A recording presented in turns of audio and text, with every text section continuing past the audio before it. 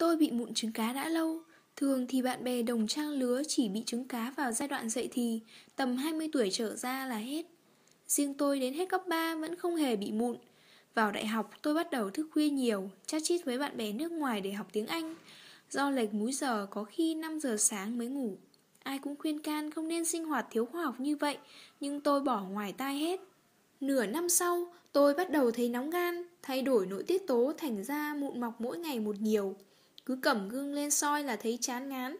Đắp bao nhiêu loại mặt nạ cũng không khỏi Thậm chí đi khám da liễu Lấy cả đống thuốc về uống cũng không đỡ. Ngừng thuốc là mặt lại gấm hoa. Tình trạng trên kéo dài khiến tôi căng thẳng lo âu Cộng với nhiều thuốc tây nên bắt đầu có triệu chứng đau dạ dày. Những cơn đau dạ dày làm tôi chán ăn, mệt mỏi.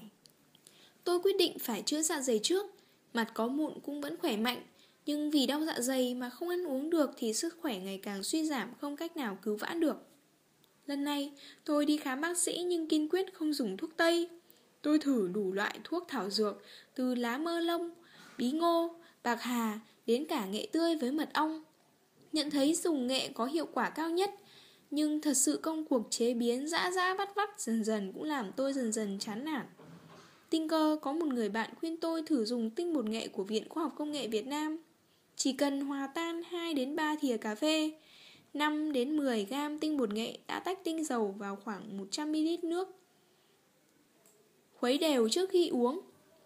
Mỗi ngày 3 bữa, mỗi bữa uống hết 2 phút, quá đơn giản nên tôi hào hứng duy trì.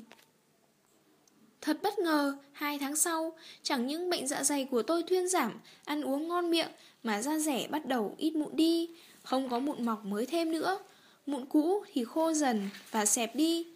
Chính tôi từ sau khi bị chứng đau dạ dày bị hành hạ cũng không để ý chăm sóc da, ấy vậy mà những người xung quanh lại khen da rẻ dạo này đỡ mụn hẳn.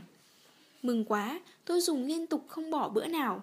6 tháng sau thì da tôi hết hẳn mụn, chỉ còn vết thâm và lỗ chân lông hơi to. Hết đau dạ dày, tôi có thời gian chăm sóc da hơn, cứ hai ngày lại đắp mặt nạ tinh bột nghệ và sữa chua Da rẻ hồng hào lên trông thấy. Ai hỏi thăm đều giới thiệu sản phẩm tinh bột nghệ tách tinh dầu của Viện Khoa học Công nghệ Việt Nam.